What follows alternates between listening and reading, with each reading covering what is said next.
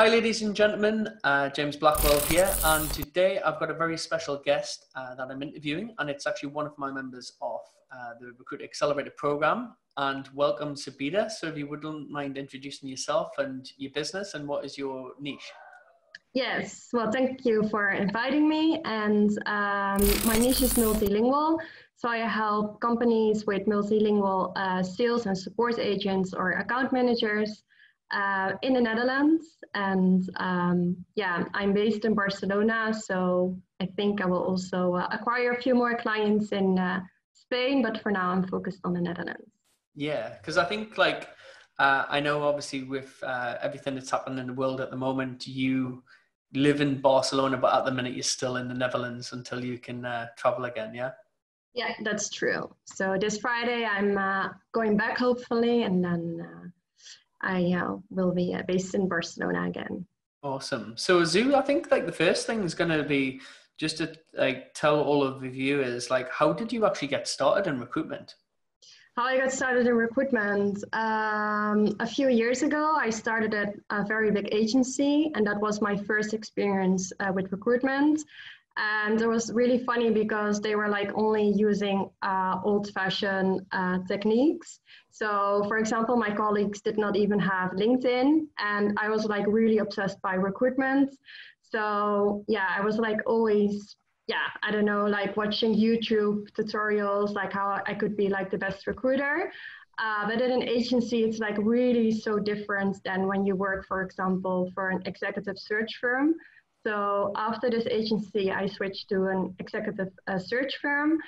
And then uh, after that uh, experience, I was about to start an agency with someone else uh, in engineering. And after that experience, I decided to uh, start my own agency.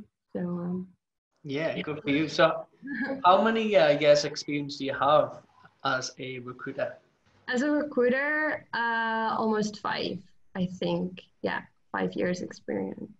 Cool. Have you always been like entrepreneurial and want to start your own business, or did this just suddenly? Mm-hmm.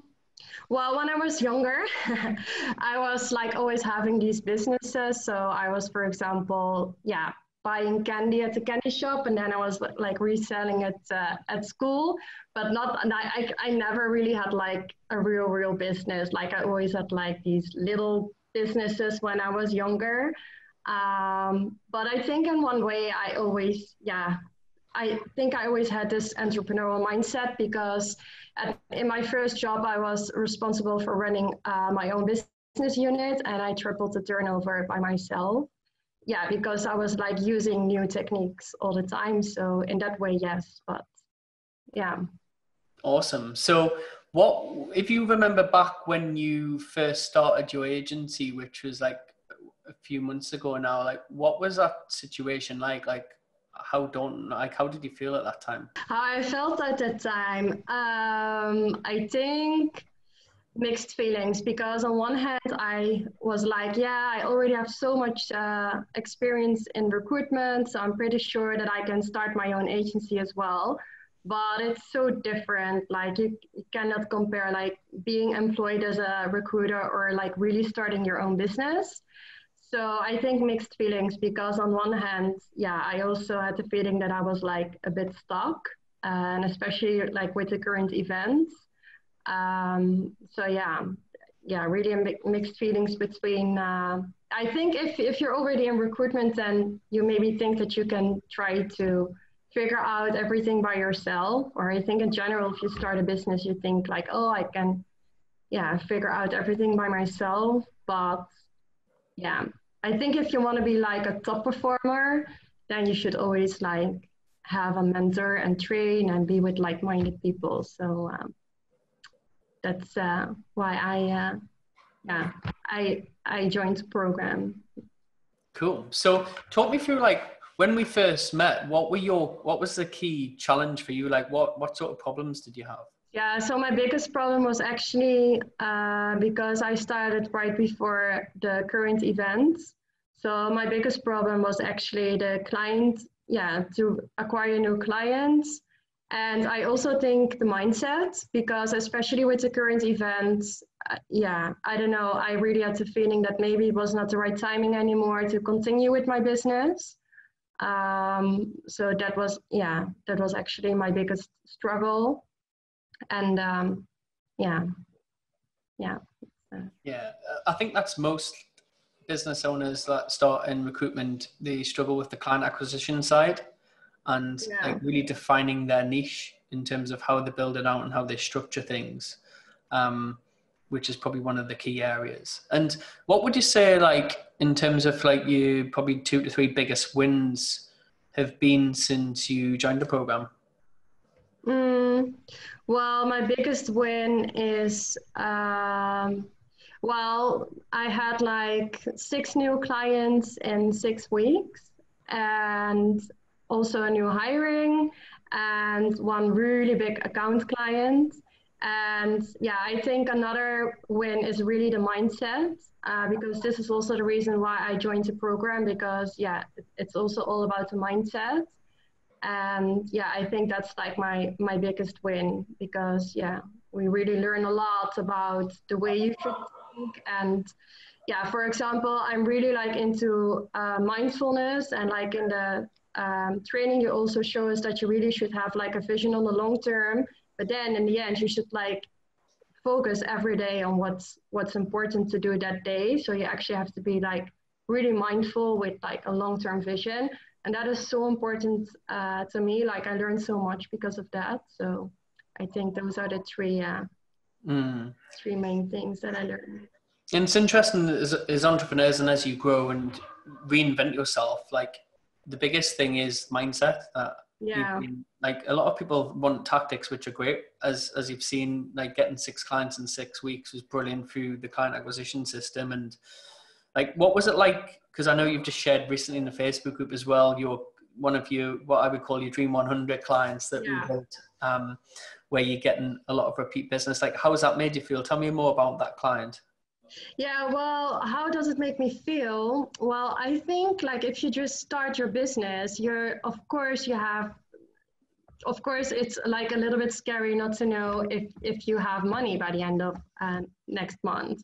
Mm. And so with this uh, so with this client, I actually have a stable income, like I have a stable turnover. I know that I will have a turnover for the following months. And so this makes me like this yeah makes me feel super secure so i can really focus on the business and i do not get distracted by yeah thoughts about you know like anxiety thoughts that you have if you just start out which is normal. Um, and i think like yeah in general in this program you really learn that it's not all about that it's not like hard work plus yeah, being lucky, but it's like hard work plus uh, a certain formula that you need to apply. And then you just know there's always going to be a client out there wanting to work with you. And yeah, so now I have this uh, big account client, and um, yeah, this because of this uh, client, I can focus on uh, gaining new business and grow my agency.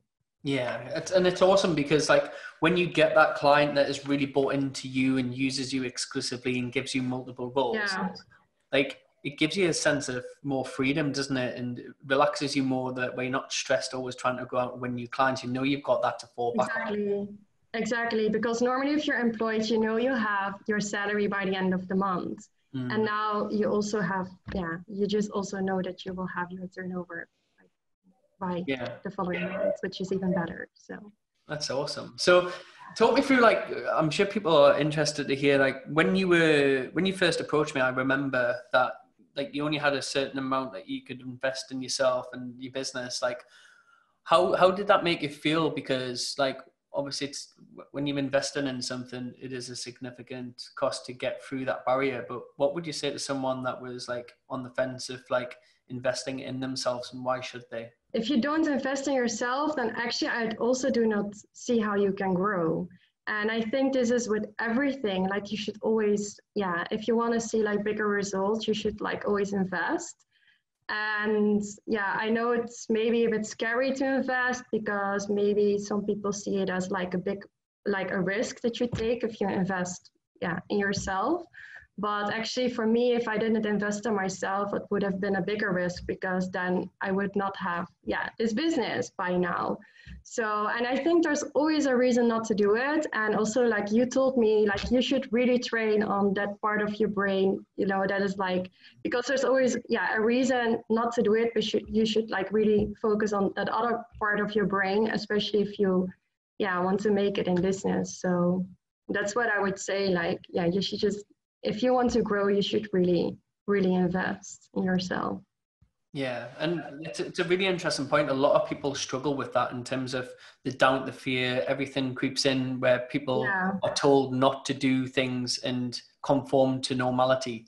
But as entrepreneurs and business owners, when you're growing, you need to be against the grain and go against exactly. what conforms in society in a way. And it goes against a lot of like people's beliefs, but you need to surround yourself with like-minded peers, which is interesting. Like, how did you find uh, having that support infrastructure, like in the peer group and like the your weekly calls, etc.? Like, have you found value in that too? Oh yeah, a lot. There's one uh, student from the, uh, in the program. Like we talk every day, and we also have calls every Monday and Friday. So really? we yeah, that's really so good. It's like as if I have a colleague. Yeah. And so on Monday we tell each other, okay, this is gonna be my goal. And so on Friday we, uh, yeah, we actually have like the same sort of call and we talk like almost every day. And this is so good. Like, yeah, I, I, I think this is like one of the, for me, the biggest reasons to join the program because like I should also say uh, you're a product of the five people you're yeah most surrounded with and it's so true. And for me like yeah it's really super important to have like uh, another coworker and uh, yeah was also like starting his own business. So um, that's great because like accountability is important. So having an accountability port um, an accountability partner in the group where you're pushing each other on and you're giving each other confidence, but then someone you can confide in when you have like a challenge or a roadblock and and it's it's exactly. really important to have that. Like I call that like like um with uh, I still have a call with uh, a guy called Andre who I met at a previous mastermind years ago, and we've been friends ever since. And we attend different programs, but we always have like calls, uh, catching up. And even though we're in different business environments, it's important because we all keep chasing towards what we want to do and grow and evolve. But again, you are who you surround yourself with. And sometimes we're not in the luxury of the environment where wherever you live that you're surrounded by five other like successful people or millionaires or people with the same mindset. So having having that support in a group where you can find someone there and have those million dollar calls with someone exactly. um, because it only takes like one like golden nugget or one bit of advice where someone sees something in you or gives you some advice that worked for them that doesn't work for you and vice versa yeah. because you learn more by giving as well. So like you helping that other mm. person helps you propel as well. Yeah and also like because it can be like a roller coaster of different emotions and yeah it's just so good if you have like at least one person you're close with and you can share everything and yeah so that's really yeah i'm really that's yeah really, uh, I'm, I'm really happy uh, that I joined this program and that I met this person. Great. So, would you say like you've made quite a transformation from where you were without the program and where you were with the business then to where you are now? What would you say yeah. the transformation's been for you, Zou? Everything. So, like I already said, like my mindset. So, I really I feel as if I'm a different person now. Yeah. So, yeah, yeah, I of really I cannot compare. It's really uh, a big life changer for me. And business wise, I yeah, because now I really I have like okay, you uh, it's still my first year, but I have the feeling that I have a stable agency right now. And so yeah, I actually I cannot describe in words how much uh, I changed and also i learned like so many big life lessons such as that you should never like compare like focus on yourself don't compare yourself with others. But when you just start your business you always think like okay i should uh, see what my competitors are doing but like you should not do this in life and also not in business. And also yeah i already told you about like being mindful. And uh, also what i learned is that you should really focus on what's possible and don't focus on the things that are not possible and especially with these current events um, because yeah i mean these are like tough times and in sales you always have to focus on the yeses and maybe now you have yeah little yeses but they're still out there those yeses and yeah i think that's what i really learned from this program. Awesome. And do you want to share where do you want to be in 12 months time? So we talk around in the program as well of like your future self. So the current yeah. person you are and who you want to evolve to and uh, I know we shared uh, the interview video about Matthew McConaughey when he accepted his award and who his hero was, and it's his self in 10 years' time. And then once he gets there, then it's like himself in another five years' time. And we're always striving towards improving and growing as a person and evolving and not comparing ourselves to others. Like we compare ourselves to our future self of where you want to be and where you where you've came from. And that's the biggest like growth hurdle that you want to overcome is like compare yourself to who you were a year ago and two years ago and where you want to be. Like yeah. not not what anyone else wants to be what you want to be is important. But yeah so what would you say would be where, where do you want to be in the next 12 months in terms of your agency? What are the, the main things that you want to achieve? Okay so this is actually a good question. But so yeah in in 12 months then uh I hope that I can also be like some sort of mentor, but then for my for my team. So yeah, on another way, of course. Yeah, yeah. I think I in 12 months, then I even learned more than I did over the last couple of three months. So I cannot even imagine. Uh, yeah. So I think in in like 12 months, I have an agency that's even. Uh, yeah, I I, I think that I will have like a bigger remote team than I have now, and that I'm looking forward to hire uh, my first, uh, yeah, my first employees and be a mentor for my future employees. Awesome. So, what in terms of your model? Obviously, we teach around like the different systems, building the assets to give you leverage, more time freedom, and money. Are you wanting to have an office in the agency, or do you want to have a remote team? Like, how do you want to structure it moving forward? Mm, no, I want to have an office. Um, yeah, because yeah, I really want to. I really see myself doing this for like the next couple of years, and I want to get bigger and learn more, and yeah, maybe even start, you know, like another niche within multilingual for another country. Maybe. I mean, there are so many possibilities, and especially when you just start your business, it's like learning a new language. Like it opens up so many new worlds so yeah, I already have like these things in mind, like maybe I can start this or that, or yeah, maybe do a, a partnership. So awesome. yeah.